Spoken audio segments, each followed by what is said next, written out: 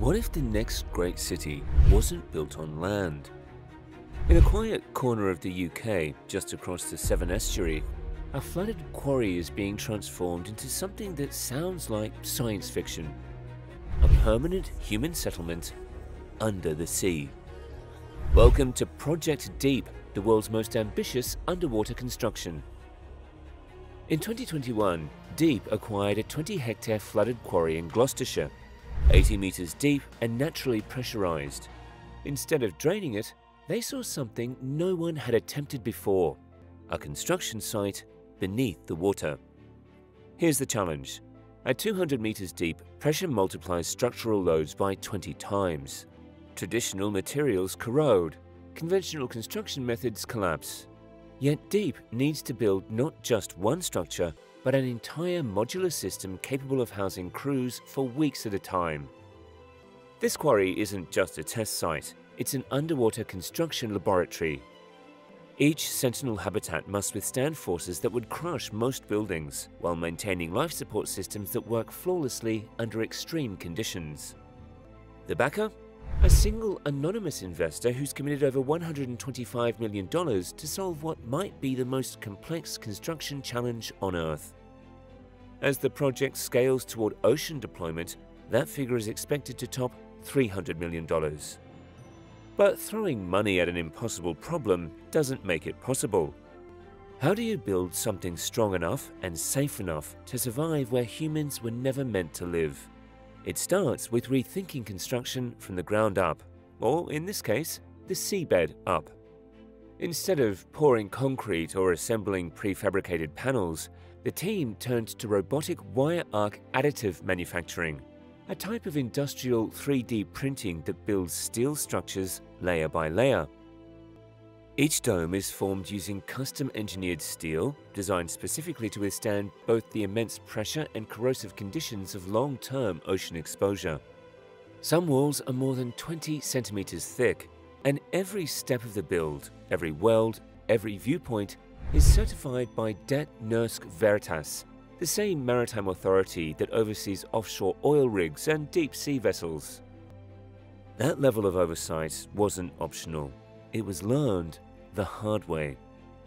After the Titan submersible disaster in 2023, Deep's team made a simple decision no shortcuts, no compromises.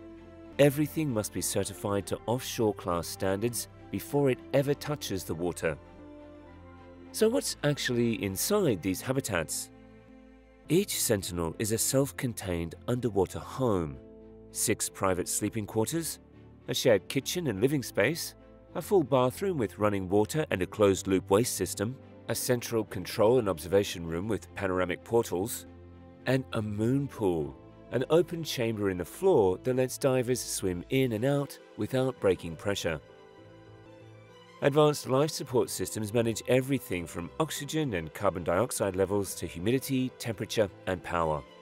Backup systems provide redundancy in case anything goes wrong, including emergency lighting, oxygen stores, and freshwater reserves. Each habitat is powered via surface linked cables with plans to integrate marine renewable energy systems like underwater turbines and battery banks. And when it's time to scale, the Sentinels are modular Standardized docking ports allow them to connect into multi-unit campuses, entire underwater research villages where teams from different countries can live and work together on the seafloor. This isn't just a structure.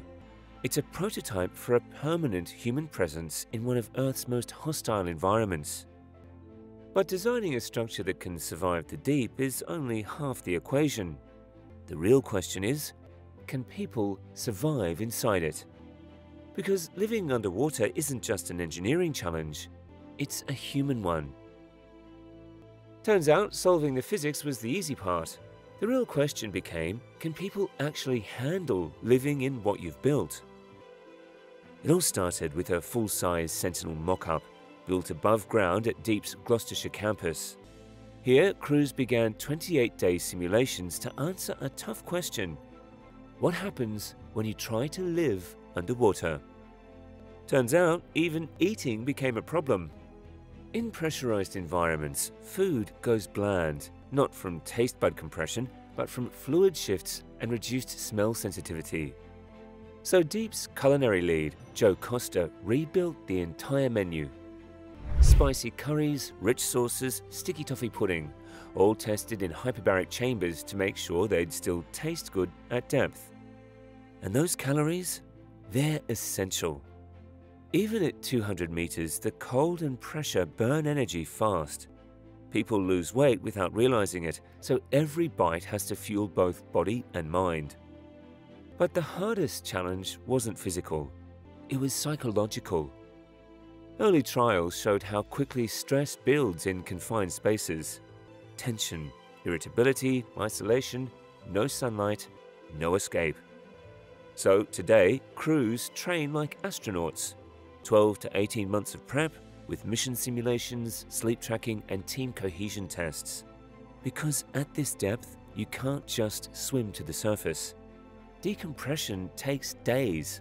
Once you're down, you're down. And while that might sound like a futuristic leap, this idea isn't new. In fact, for a brief moment in the 20th century, we came surprisingly close. Jacques Cousteau launched the Conshelf program, a series of experiments that proved people could survive and work underwater. The first, Conshelf 1, placed two men 10 meters down off the coast of Marseille for seven days, a breakthrough at that time. The US Navy followed with Sea Lab, pushing crews to deeper depths, longer missions, and harsher conditions. By the 1970s, more than 60 underwater habitats had been built worldwide, including Hydrolab, Tektite, and Marine Lab. Even NASA joined in, using undersea missions to simulate spaceflight, where small crews face isolation, pressure, and no margin for error. But by the 1980s, funding dried up. The momentum shifted to space, most habitats were dismantled or forgotten. Today, only one survives. The Aquarius Reef Base off the Florida Keys, still active, still training astronauts. Now, Project Deep marks the boldest revival yet. Not a one-off experiment, but a scalable, permanent infrastructure for human life on the ocean floor. And it's not alone. Fabien Cousteau is building Proteus in the Caribbean, other teams are developing modular stations in the Mediterranean, Red Sea, and beyond. But right now, no project is further along than Project Deep, which is already being built and it's closer to deployment than you might think. At their Gloucestershire campus, crews are running simulations inside a full-size Sentinel replica. Next up is the Vanguard Habitats, smaller three-person units set for underwater trials in 2025. The first real Sentinel is scheduled to launch in 2027, starting in the Quarry Lake before moving into the open ocean. Custom submersibles will handle crew rotations and supplies. And where they're headed, the Twilight Zone holds more marine life than any other part of the ocean. Yet we know almost nothing about it. If we can live there, we won't just unlock new science, we might open the door to a new human frontier. So now we want to hear from you. Would you like to live underwater? Let us know in the comments. Thank you for watching it, and if you're into Megabuild stories, hit subscribe. We've got more coming soon.